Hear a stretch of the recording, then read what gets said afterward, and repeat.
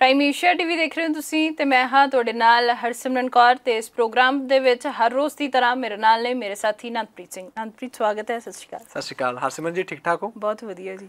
ਤੇ ਮੈਨੂੰ ਲੱਗਦਾ ਕਿ ਜਿਸ ਤਰ੍ਹਾਂ ਪ੍ਰਾਈਮ ਏਸ਼ੀਆ ਟੀਵੀ ਦੇ ਜਿਹੜੇ ਪਰਿਵਾਰਕ ਮੈਂਬਰ ਸਾਨੂੰ ਦੇਖ ਰਹੇ ਨੇ ਪਿਛਲੇ 2-3 ਦਿਨਾਂ ਤੋਂ ਲਗਾਤਾਰ ਉਹਨਾਂ ਦੀਆਂ ਟਿੱਪਣੀਆਂ ਆ ਰਹੀਆਂ ਨੇ ਤੇ ਅਸੀਂ ਉਹਨਾਂ ਸਦਕੇ ਹੀ ਜਿਹੜੇ ਉਹਨਾਂ ਦੀ ਸੇਵਾ 'ਚ ਹਾਜ਼ਰ ਹਾਂ। ਤੇ ਉਮੀਦ ਕਰਦੇ ਹਾਂ ਕਿ ਤੁਸੀਂ ਇਹ ਪ੍ਰੋਗਰਾਮ ਨੂੰ ਹੋਰ ਜ਼ਿਆਦਾ ਪਿਆਰ ਦਿਓਗੇ ਤੇ ਸਾਡੀਆਂ ਜਿਹੜੀਆਂ ਮਾੜੀ ਮੋਟੀਆਂ ਗਲਤੀਆਂ ਹੁੰਦੀਆਂ ਨੇ ਤੁਸੀਂ ਉਹਨੂੰ ਵੀ ਅੱਖੋਂ ਪਰੋਖੋ ਪਰੋਖੇ ਕਰੋਗੇ ਕਿਉਂਕਿ ਅਸੀਂ ਇਸ ਖੇਤਰ ਦੇ ਵਿੱਚ ਨਵੇਂ ਆ ਤੇ ਸਾਨੂੰ ਤੁਹਾਡੇ ਸਾਥ ਦੀ ਜ਼ਰੂਰਤ ਹੈ ਤੇ ਅਸੀਂ ਸਿੱਧ ਪੱਧਰੀਆਂ ਜੀ ਗੱਲਾਂ ਕਰਨੀਆਂ ਜਾਣਦੇ ਆ ਤੇ ਉਹੋ ਜੀ ਗੱਲਾਂ ਬਾਤਾਂ ਅਸੀਂ ਲੈ ਕੇ ਤੁਹਾਡੇ ਨਾਲ ਜ਼ਰੂਰ ਰੂਬਰੂ ਹੋਇਆ ਕਰਾਂਗੇ। ਸੋ ਜਿਹੜੇ ਸਾਡੇ ਦੇਖਣ ਵਾਲੇ ਸਾਡੇ ਦਰਸ਼ਕ ਨੇ ਸਾਡੇ ਪਰਿਵਾਰਕ ਮੈਂਬਰ ਨੇ ਤਾਂ ਉਹਨਾਂ ਦਾ ਸਾਨੂੰ ਸਹਾਇਤੀ ਸਹਿਯੋਗ ਦੀ ਉਹ ਬਹੁਤ ਜ਼ਿਆਦਾ ਲੋੜ ਹੈ। ਸੋ ਬਿਲਕੁਲ ਉਮੀਦ ਕਰਦੇ ਹਾਂ ਕਿ ਤੁਸੀਂ ਇਸੇ ਤਰ੍ਹਾਂ ਜਿਹੜਾ ਇਸ ਪ੍ਰੋਗਰਾਮ ਨੂੰ ਪਿਆਰ ਦਿਓਗੇ ਤੇ ਵੱਧ ਤੋਂ ਵੱਧ ਟਿੱਪਣੀਆਂ ਤੁਸੀਂ ਜ਼ਰੂਰ ਕਰਿਆ ਕਰੋ ਤੇ ਤੁਹਾਡੀਆਂ ਟਿੱਪਣੀਆਂ ਨੂੰ ਅਸੀਂ ਆਪਣੇ ਅਗਲੇ ਪ੍ਰੋਗਰਾਮਾਂ ਦੇ ਵਿੱਚ ਜਿਹੜਾ ਉਹ ਵਿਸ਼ੇ ਦੇ ਰੂਪ ਦੇ ਵਿੱਚ ਵੀ ਲੈ ਕੇ ਜ਼ਰੂਰ ਆਇਆ ਕਰਾਂਗੇ। ਤੁਹਾਡੀ ਟਿੱਪਣੀਆਂ ਦਾ ਵੀ ਸਾਨੂੰ ਇੰਤਜ਼ਾਰ ਰਹੇਗਾ। ਜੀ। ਹਾਂ ਨੰਦਪ੍ਰੀਤ ਖਬਰਾਂ ਵਾਲੇ ਪਾਸੇ ਜੇਕਰ ਮੋੜਾ ਕੱਟੀਏ ਤਾਂ ਅੱਜ ਕਿਸਾਨਾਂ ਨੇ ਕਾਲ ਦਿੱਤੀ ਸੀ। ਅੰਬਾਲਾ ਦੇ ਵਿੱਚ ਇੱਕ ਵੱਡਾ ਇਕੱਠ ਕੀਤਾ ਜਾਣਾ ਸੀ। ਨਵਦੀਪ ਜਲਵੇੜਾ ਦੀ ਰਿਹਾਈ ਨੂੰ ਲੈ ਕੇ ਪਹਿਲਾਂ ਤਾਂ ਇਕੱਠ ਰੱਖਿਆ ਗਿਆ ਸੀ ਪਰ ਕੱਲ ਹਾਈ ਕੋਰਟ ਦੇ ਹੁਕਮਾਂ ਤੋਂ ਬਾਅਦ ਉਹਨਾਂ ਦੀ ਰਿਹਾਈ ਹੋ ਗਈ। ਅੱਜ ਉਹਨਾਂ ਨੂੰ ਸਨਮਾਨਿਤ ਕਰਨ ਲਈ ਇੱਕ ਵੱਡਾ ਇਕੱਠ ਜਾਂ ਫਿਰ ਕਹ ਲਓ ਸ਼ਕਤੀ ਪ੍ਰਦਰਸ਼ਨ ਉੱਥੇ ਰੱਖਿਆ ਗਿਆ ਸੀ। ਉਸ ਤੋਂ ਪਹਿਲਾਂ ਹੀ ਪੁਲਿਸ ਨੇ ਅੰਬਾਲਾ ਕਿਸਾਨਾਂ ਨੂੰ ਪਹੁੰਚਣ ਨਹੀਂ ਦਿੱਤਾ। ਉਹਨਾਂ ਦੀ ਫੜੋ ਫੜਾਈ ਸ਼ੁਰੂ ਹੋ ਗਈ। ਅੱਜ ਪੂਰਾ ਇਹ ਸੀਨ ਕੀ ਰਿਹਾ? ਹਰਸਿਮਰਨ ਜੀ ਨਵਦੀਪ ਸਿੰਘ ਜਲਬੇੜਾ ਹੁਣ ਤਾਂ ਉਸ ਨੌਜਵਾਨ ਨੂੰ ਜਿਹੜੇ ਉਹ ਵਾਟਰ ਕੈਨਨ ਵਾਲੇ ਨੌਜਵਾਨ ਕਰਕੇ ਸਾਰੇ ਜਾਣਦੇ ਨੇ, ਤਾਂ ਨਵਦੀਪ ਨੇ ਆਪਣੀ ਇੱਕ ਵੱਖਰੀ ਪਹਿਚਾਨ ਜਿਹੜੀ ਬਣਾਈ ਹੈ। ਕਿਉਂਕਿ ਦੇਖੋ ਜਦੋਂ ਕਿਸਾਨ ਦਿੱਲੀ ਨੂੰ ਤੁਰੇ ਸੀ ਤਾਂ ਉਦੋਂ ਵਾਟਰ ਕੈਨਨ ਦਾ ਮੂੰਹ ਮੋੜਨ ਵਾਲਾ ਨਵਦੀਪ ਸੀ ਤੇ ਉਦੋਂ ਇਹ ਚਰਚਾ 'ਚ ਆਇਆ। ਉਸ ਤੋਂ ਬਾਅਦ ਲਗਾਤਾਰ ਇਸ ਨੌਜਵਾਨ ਨੇ ਕਿਸਾਨੀ ਦੇ ਲਈ ਕਾਫੀ ਕੰਮ ਕੀਤਾ। ਕਿਸਾਨੀ, ਕਿਸਾਨ ਆਗੂਆਂ ਦੇ ਨਾਲ, ਕਿਸਾਨ ਮੁੱਦਿਆਂ ਤੇ ਅਕਸਰ ਸਟੇਜਾਂ ਦੇ ਉੱਤੇ ਬੋਲਣ ਵਾਲੇ ਇਹ ਨੌਜਵਾਨ ਆਗੂਆਂ ਦੇ ਵਿੱਚੋਂ ਸੀ। ਤੇ ਬਹੁਤ ਸਾਰੇ ਨੌਜਵਾਨ ਆਗੂ ਭਾਵੇਂ ਇਸ ਵੇਲੇ ਇਸ ਅੰਦੋਲਨ ਦੇ ਵਿੱਚ ਨਾਲ ਖੜੇ ਨੇ। ਤਾਂ ਉਹਨਾਂ ਵਿੱਚੋਂ ਮੁੱਢਲੇ ਰੂਪ ਦੇ ਵਿੱਚ ਨਵਦੀਪ ਜਲਬੇੜੇ ਦਾ ਨਾਮ ਆਉਂਦਾ ਤਾਂ ਪਿਛਲੇ ਦਿਨਾਂ ਦੇ ਵਿੱਚ ਵੀ ਕਿਉਂਕਿ ਜਦੋਂ ਸ਼ੰਭੂ ਬਾਰਡਰ ਦੇ ਉੱਤੇ ਜਦੋਂ ਅੰਦੋਲਨ ਦੁਬਾਰਾ ਸ਼ੁਰੂ ਹੋਇਆ ਉਦੋਂ ਵੀ ਪੋਕਲੈਂਡ ਮਸ਼ੀਨਾਂ ਲੈ ਕੇ ਨਵਦੀਪ ਜਿਹੜਾ ਉੱਥੇ ਪਹੁੰਚਿਆ ਜੀਸੀਬੀ ਲੈ ਕੇ ਉੱਥੇ ਪਹੁੰਚਿਆ। ਤੇ ਜਦੋਂ ਇਹ ਜੀਸੀਬੀ ਉੱਥੇ ਲੈ ਕੇ ਪਹੁੰਚਿਆ ਤਾਂ ਉਦੋਂ ਬੜਾ ਇਹ ਸੋਸ਼ਲ ਮੀਡੀਆ ਦੇ ਉੱਤੇ ਛਾਇਆ ਰਿਹਾ ਦੋ ਤਿੰਨ ਦਿਨ। ਤੇ ਜਦੋਂ ਜਦੋਂ ਉਸ ਦਿਨ ਜਦੋਂ ਜਦੋਂ ਅਟੈਕ ਹੋਇਆ ਉਦੋਂ ਤਾਂ ਉਦੋਂ ਇਹਨੂੰ ਕਿਹਾ ਗਿਆ ਕਿ ਨਵਦੀਪ ਕਿੱਥੇ ਆ ਨਵਦੀਪ ਕਿੱਥੇ ਆ? ਤਾਂ ਉਦੋਂ ਇਹ ਕਹਿੰਦਾ ਸੀ ਉਦੋਂ ਨੇ ਸਟੇਜ ਤੇ ਵੀ ਆ ਕੇ ਵਾਰ-ਵਾਰ ਬੋਲਿਆ ਕਿ ਜੀ ਮੈਨੂੰ ਕਿਸਾਨ ਆਗੂਆਂ ਨੇ ਰੋਕਿਆ। ਕਿਸਾਨ ਆਗੂ ਮੈਨੂੰ ਹੁਕਮ ਦੇਣਗੇ ਮੈਂ ਅੱਗੇ ਜਾਊਂਗਾ। ਮੈਂ ਕਿਸਾਨ ਆਗੂਆਂ ਤੋਂ ਇੱਧਰ ਉੱਧਰ ਨਹੀਂ ਆ 1 ਇੰਚ ਨਾ ਇੱਧਰ ਆ ਨਾ ਉੱਧਰ ਆ। ਹੁਣ ਵੀ ਤੁਸੀਂ ਦੇਖੋ ਕਿ ਨਵਦੀਪ ਸਿੰਘ ਜਿਹੜਾ ਜਲਬੇੜਾ ਹੈ ਉਸ ਨੂੰ ਗ੍ਰਿਫਤਾਰ ਕੀਤਾ ਗਿਆ। ਉਸ ਤੋਂ ਬਾਅਦ ਉੱਤੇ ਕਈ ਪਰਚੇ ਵੀ ਪਏ। ਉਹਨਾਂ ਦੇ ਪਰਿਵਾਰਕ ਮੈਂਬਰਾਂ ਨੇ ਇਹ ਇਲਜ਼ਾਮ ਵੀ ਲਗਾਇਆ ਦੋਸ਼ ਵੀ ਲਗਾਇਆ ਕਿ ਉਹਨਾਂ ਦੇ ਜਿਹੜੇ ਬੇਟੇ ਨੇ ਨਵਦੀਪ ਦੇ ਉੱਤੇ ਕਈ ਤਰ੍ਹਾਂ ਦਾ ਤਸ਼ੱਦਦ ਵੀ ਜਿਹੜਾ ਉਹ ਹਟਾਇਆ ਗਿਆ। ਤਾਂ ਹੁਣ ਵੀ ਉਹਨਾਂ ਦੀ ਆਪਣੀ ਜ਼ੁਬਾਨੀ ਵੀ ਜਿਹੜੀ ਕਈ ਇੰਟਰਵਿਊਜ਼ ਉਹਨਾਂ ਨੇ ਦਿੱਤੀਆਂ ਨੇ, ਉਹਨਾਂ ਵਿੱਚ ਉਹਨਾਂ ਨੇ ਇਸ ਗੱਲ ਨੂੰ, ਇਸ ਗੱਲ ਦੀ ਪੁਸ਼ਟੀ ਕੀਤੀ ਹੈ ਕਿ ਉਹਨਾਂ ਦੇ ਨਾਲ ਗੈਰ ਮਨੁੱਖੀ ਵਤੀਰਾ ਜਿਹੜਾ ਹੋਇਆ, ਜੋ ਕਿ ਨਹੀਂ ਸੀ ਹੋਣਾ ਚਾਹੀਦਾ, ਕਿਉਂਕਿ ਦੇਸ਼ ਦੇ ਵਿੱਚ ਲੋਕਤੰਤਰ ਹੈ, ਕਾਨੂੰਨ ਹੈ, ਤਾਂ ਇਸ ਤਰ੍ਹਾਂ ਦਾ ਕਾਨੂੰਨ ਜਿਹੜਾ ਕੋਈ ਵੀ ਆਗਿਆ ਨਹੀਂ ਦਿੰਦਾ ਕਿ ਉਹ ਇਸ ਤਰ੍ਹਾਂ ਗੈਰ ਮਨੁੱਖੀ ਵਤੀਰਾ ਜਿਹੜਾ ਉਹ ਕਰਨ। ਤਾਂ ਉਹ ਨੌਜਵਾਨ ਇਸ ਵੇਲੇ ਜੇਲ੍ਹ ਤੋਂ ਬਾਹਰ ਆਇਆ, ਜ਼ਮਾਨਤ ਤੇ ਬਾਹਰ ਆਇਆ, ਤਾਂ ਉਸ ਨੌਜਵਾਨ ਦੇ ਹੱਕ ਦੇ ਵਿੱਚ ਕਿਹਾ ਗਿਆ ਸੀ ਕਿ ਅੱਜ ਦੇ ਦਿਨ ਦਾਣਾ ਮੰਡੀ ਦੇ ਵਿੱਚ ਇਕੱਠ ਕਰਕੇ ਪ੍ਰਸ਼ਾਸਨ ਦੇ ਉੱਤੇ ਦਬਾਅ ਬਣਾਉਣ ਦੀ ਘਰਾਨੀਤੀ ਸੀਗੀ ਜਿਹੜੀ ਹੈ। ਪਰ ਉਸ ਤੋਂ ਪਹਿਲਾਂ ਉਸ ਇੱਕ ਦਿਨ ਪਹਿਲਾਂ ਹੀ ਉਸ ਦੀ ਜਿਹੜੀ ਜ਼ਮਾਨਤ ਉਹ ਹੋ ਜਾਂਦੀ ਹੈ ਕਿਉਂਕਿ ਪ੍ਰਸ਼ਾਸਨ ਨੂੰ ਇਸ ਗੱਲ ਦਾ ਪਤਾ ਸੀ ਕਿ ਅਗਲੇ ਦਿਨ ਵੱਡੀ ਗਿਣਤੀ 'ਚ ਕਿਸਾਨ ਇਕੱਠੇ ਹੋ ਰਹੇ ਨੇ ਕਿਉਂਕਿ ਉਹਨਾਂ ਸਰਕਾਰ ਕੋਲ ਵੀ ਰਿਪੋਰਟ ਹੁੰਦੀ ਹੈ। ਉਸ ਤੋਂ ਪਹਿਲਾਂ ਹੀ ਨਵਦੀਪ ਨੂੰ ਜਿਹੜਾ ਦੇਰ ਰਾਤ 11 11:30 ਵਜੇ ਦੇ ਕਰੀਬ ਉਹਨਾਂ ਨੂੰ ਛੱਡ ਦਿੱਤਾ ਗਿਆ। ਉਸ ਤੋਂ ਬਾਅਦ ਉਹਨਾਂ ਨੇ ਕਿਹਾ ਕਿ ਜਿਹੜੀ ਉਹ ਸਾਡੀ ਪ੍ਰਦਰਸ਼ਨ ਕਰਨਾ ਸੀ ਜਾਂ ਉਹ ਸਾਡੀ ਰੈਲੀ ਸੀਗੀ, ਉਹ ਇੱਕ ਸਵਾਗਤ ਰੈਲੀ ਦੇ ਵਿੱਚ ਹੋਏਗੀ ਤੇ ਜਿਹੜੇ ਨਵਦੀਪ ਜਲਵੇੜਾ ਨੇ, ਉਹ ਜੇਲ੍ਹ ਤੋਂ ਬਾਹਰ ਆਏ ਨੇ, ਉਹਨਾਂ ਦਾ ਅਸੀਂ ਸਵਾਗਤ ਕਰਾਂਗੇ, ਇਹ ਕਿਸਾਨ ਆਗੂਆਂ ਨੇ ਕਿਹਾ। ਜਦੋਂ ਕਿਸਾਨ ਆਗੂਆਂ ਨੇ ਇਹ ਗੱਲ ਕਹੀ ਹੈ, ਤਾਂ ਉਹਨਾਂ ਨੇ ਨਾਲ ਦੀ ਨਾਲ ਸਾਰਿਆਂ ਨੂੰ ਸੱਦਾ ਦਿੱਤਾ ਕਿ ਪੰਜਾਬ ਵਾਲੇ ਕਿਸਾਨ ਆਗੂ ਵੀ, ਪੰਜਾਬ ਦੇ ਕਿਸਾਨ ਵੀ ਤੇ ਨਵਦੀਪ ਨੂੰ ਪਿਆਰ ਕਰਨ ਵਾਲੇ, ਚਾਹਣ ਵਾਲੇ, ਚਾਹੇ ਉਹ ਹਰਿਆਣਾ 'ਚ ਨੇ, ਚਾਹੇ ਕਿੱਥੇ ਮਰਜ਼ੀ ਬੈਠੇ ਨੇ, ਉਹ ਅੰਬਾਲਾ ਦਾਣਾ ਮੰਡੀ 'ਚ ਪਹੁੰਚਣ। ਵੱਡੀ ਗਿਣਤੀ 'ਚ ਇਕੱਠ ਹੋਇਆ ਸਿਮਰਨ ਜੀ ਉੱਥੇ। ਤਾਂ ਬਹੁਤ ਸਾਰੇ ਜਿਹੜੇ ਕਿਸਾਨ ਆਗੂ ਪੰਜਾਬ ਵਾਲੇ ਪਾਸਿਓਂ ਗਏ ਸੀ, ਕੁਝ ਹਰਿਆਣੇ ਵਾਲੇ ਪਾਸਿਓਂ, ਕੋਈ ਯੂਪੀ ਤੋਂ ਆਏ, ਕੋਈ ਹੋਰ ਪਾਸਿਓਂ ਆਏ, ਉਹਨਾਂ ਨੂੰ ਗ੍ਰਿਫਤਾਰ ਜਿਹੜਾ ਕੀਤਾ ਗਿਆ, ਹਿਰਾਸਤ 'ਚ ਲਿਆ ਗਿਆ। ਹਾਲਾਂਕਿ ਹੁਣ ਉਹ ਹਿਰਾਸਤ 'ਚ ਉਹਨਾਂ ਨੂੰ ਛੱਡ ਦਿੱਤਾ ਗਿਆ, ਪਰ ਉਸ ਦੇ ਬਾਵਜੂਦ ਅੱਜ ਜਿਹੜਾ ਸਾਰਾ ਦਿਨ ਐਪੀਸੋਡ ਚੱਲਦਾ ਰਿਹਾ, ਉਹ ਕਿਸਾਨਾਂ ਦਾ ਤੇ ਹਰਿਆਣਾ ਦੀ ਜਿਹੜੀ ਸਰਕਾਰ ਹੈ, ਉਹਦਾ ਜਿਹੜਾ ਆਪਸੀ ਵਿਵਾਦ ਹੈ, ਉਹ ਮੁੱਖ ਰੂਪ ਦੇ ਵਿੱਚ ਚਰਚਾ 'ਚ ਰਿਹਾ। ਅੱਜ ਪੁਲਿਸ ਪਿਛਲੇ ਬੀਤੇ ਦਿਨਾਂ ਦੇ ਵਿੱਚ ਜਦੋਂ ਆਪਾਂ ਦੇਖੀਏ ਜਦੋਂ ਨਵਦੀਪ ਜਲਵੇੜਾ ਦੀ ਗ੍ਰਿਫਤਾਰੀ ਹੋਈ ਸੀ ਉਸ ਤੋਂ ਬਾਅਦ ਤੋਂ ਹੀ ਲਗਾਤਾਰ ਕਿਸਾਨ ਇਹ ਚਾਰਾਜੋਈ ਕਰ ਰਹੇ ਨੇ ਉਹਨਾਂ ਦੀ ਰਿਹਾਈ ਦੇ ਲਈ ਪ੍ਰਦਰਸ਼ਨ ਕੀਤੇ ਜਾ ਰਹੇ ਨੇ ਐਸਐਸਪੀ ਦਫ਼ਤਰਾਂ ਦਾ ਘਿਰਾਓ ਵੀ ਕੀਤਾ ਜਾ ਰਿਹਾ ਹੈ।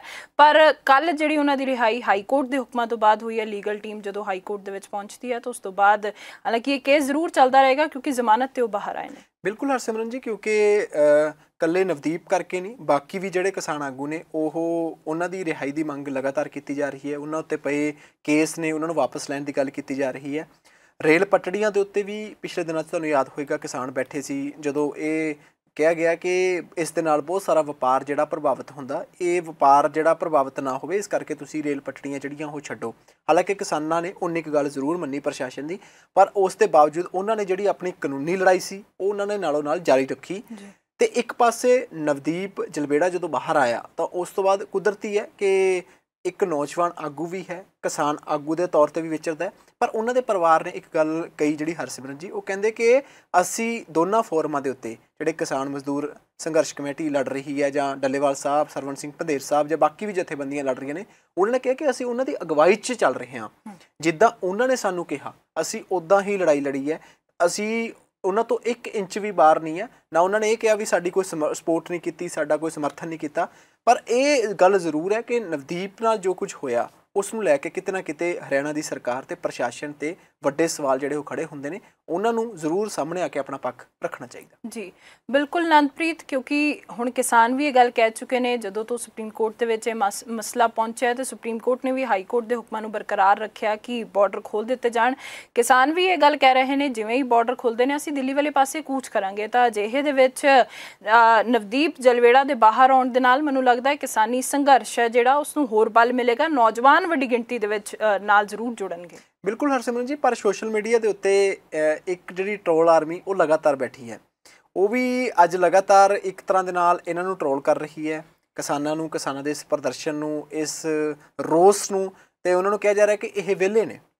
ਉਹ ਕਿਸਾਨਾਂ ਨੂੰ ਕਹਿ ਰਹੇ ਨੇ ਜੀ, ਇਹ ਜਦੋਂ ਜੀ ਕਰਦਾ ਸੜਕਾਂ ਤੇ ਆ ਜਾਂਦੇ ਨੇ, ਜਦੋਂ ਜੀ ਕਰਦਾ ਇਹ ਰਾਹ ਘੇਰ ਲੈਂਦੇ ਨੇ, ਜਦੋਂ ਜੀ ਕਰਦਾ ਟੋਲ ਪਲਾਜ਼ੇ ਫ੍ਰੀ ਕਰ ਦਿੰਦੇ ਨੇ, ਤੇ ਇਹ ਵਿਹਲੇ ਨੇ। ਇਹ ਘਰੋਂ ਵਿਹਲੇ ਨੇ, ਫਸਲ ਬੀਜ ਕੇ ਇਹਨਾਂ ਨੇ ਪਾਣੀ ਲਾਤਾ, ਇਹ ਵਿਹਲੇ ਨੇ।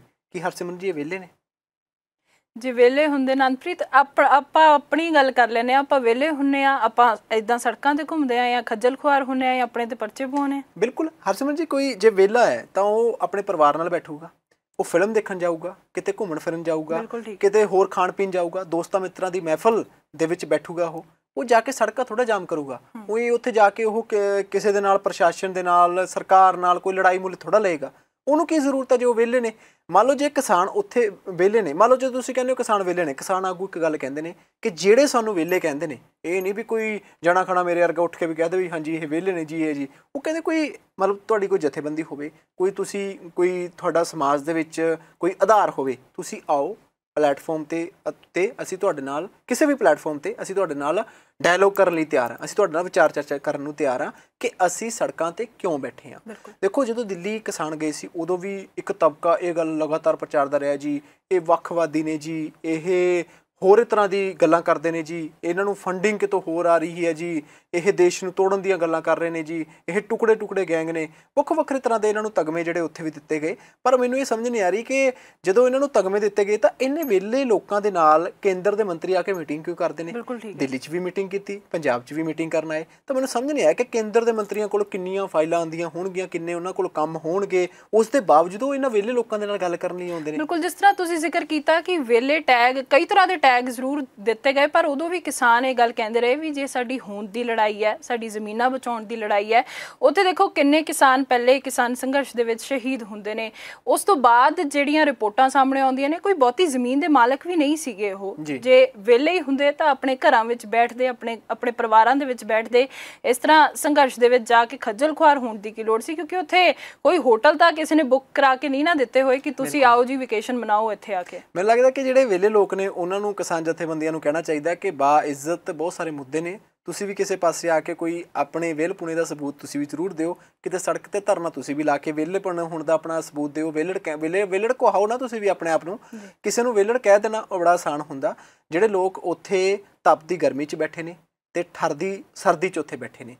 ਮੀਂਹ ਵੀ ਉਹਨਾਂ ਨੇ ਦੇਖਿਆ ਆਪਣੇ ਪਰਿਵਾਰਾਂ ਤੋਂ ਵੀ ਦੂਰ ਬੈਠੇ ਨੇ ਆਪਣੀਆਂ ਫਸਲਾਂ ਤੋਂ ਵੀ ਦੂਰ ਬੈਠੇ ਨੇ। ਤਾਂ ਉਹ ਲੋਕ ਉੱਥੇ ਬੈਠਣ ਲਈ ਮਜਬੂਰ ਕਿਉਂ ਹੋਏ? ਕਿੰਨਾਂ ਨੇ ਉੱਥੇ ਬਿਠਾਏ? ਦੇਸ਼ ਦੀ ਸਰਕਾਰ ਨੇ ਉਹਨਾਂ ਨਾਲ ਵਾਅਦੇ ਕੀਤੇ ਨੇ। ਉਹ ਸ਼ਰਤਾਂ ਨਾਲ ਜਿਹੜੀ ਕੋਈ ਕਿਹਾ ਸੀਗਾ ਕਿ ਅਸੀਂ ਇਹ ਸ਼ਰਤਾਂ ਨਾਲ ਤੁਹਾਡੀਆਂ ਇਹ ਮੰਗਾਂ ਮੰਨ ਲਾਂਗੇ ਜੀ ਤੁਸੀਂ ਸਾਨੂੰ ਥੋੜਾ ਸਮਾਂ ਦਿਓ ਤਾਂ ਉਹ ਸ਼ਰਤਾਂ ਜਿਹੜੀਆਂ ਨੇ ਜਾਂ ਉਹ ਮੰਗਾਂ ਨੇ ਜਿਹੜੀਆਂ ਉਹ ਇਹਨਾਂ ਦੇ ਜਿਹੜੇ ਵਾਅਦੇ ਸੀ ਉਹ ਵਫਾ ਨਹੀਂ ਹੋਏ। ਇਸ ਕਰਕੇ ਇਹਨਾਂ ਨੂੰ ਲੱਗਦਾ ਕਿ ਜੀ ਜਦੋਂ ਤੱਕ ਅਸੀਂ ਸੜਕਾਂ ਤੇ ਨਹੀਂ ਆਵਾਂਗੇ ਸਾਡੀ ਗੱਲ ਨਹੀਂ ਮੰਨੀ ਜਾਏਗੀ। ਤੁਸੀਂ ਇਸ ਗੱਲ ਦੀ ਐਗਜ਼ਾਮਪਲ ਉਹ ਦਿੰਦੇ ਨੇ ਜੀ ਤਿੰਨ ਖੇਤੀ ਕਾਨੂੰਨ। ਉਹ ਕਹਿੰਦੇ ਕਿ ਦੇਸ਼ ਦੇ ਵਿੱਚ ਹੋਰ ਕਿੰਨੇ ਕਾਨੂੰਨ ਬਣੇ ਉਹ ਕਹਿੰਦੇ ਕੋਈ ਵਾਪਸ ਨਹੀਂ ਹੋਇਆ।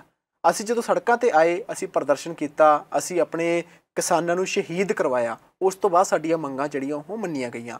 ਦੇਖੋ, ਕਿਸਾਨ ਇਸ ਵੇਲੇ ਜੋ ਜ਼ਿੰਦਗੀ ਜਿਹੜਾ ਉਹ ਗੁਜ਼ਾਰ ਰਿਹਾ, ਆਪਾਂ ਕੋਲੇ ਦੋ ਕਿਸਾਨ ਨੇ।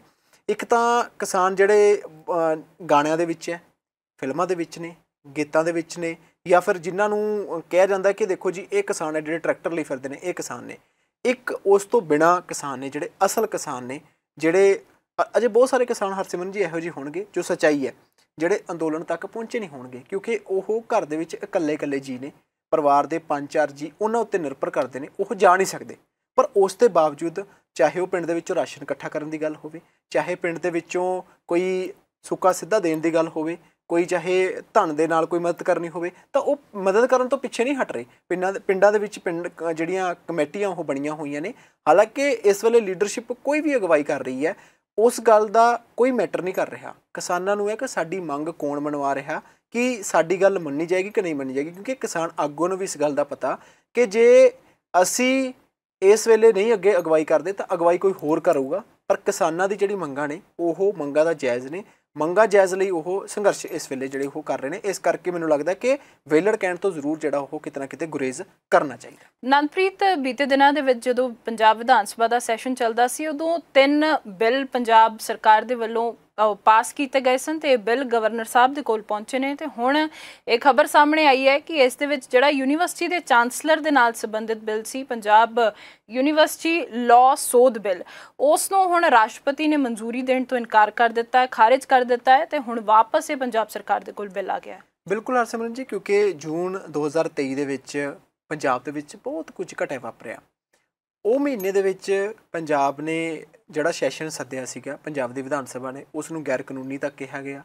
ਉਹ ਸੈਸ਼ਨ ਜਿਸ ਤਰ੍ਹਾਂ ਸਰਕਾਰ ਨੇ ਸੱਦਿਆ, ਕਿਉਂਕਿ ਉਸ ਵੇਲੇ ਜਿਹੜਾ ਪੰਜਾਬ ਵਿਧਾਨ ਸਭਾ ਦਾ ਸੈਸ਼ਨ ਹੈ, ਉਹ ਆਪਾਂ ਜਿਹੜੀ ਇੱਕ ਟੈਕਨੀਕਲ ਲੈਂਗੁਏਜ ਹੈ, ਉਹਦੇ ਵਿੱਚ ਇਹਨੂੰ ਕਿਹਾ ਜਾਂਦਾ ਕਿ ਪ੍ਰੋਰੋਗ ਕਰਨਾ, ਜਾਂ ਸੈਸ਼ਨ ਜਿਹੜਾ ਉਹ ਮੁਲਤਵੀ ਕਰਨਾ।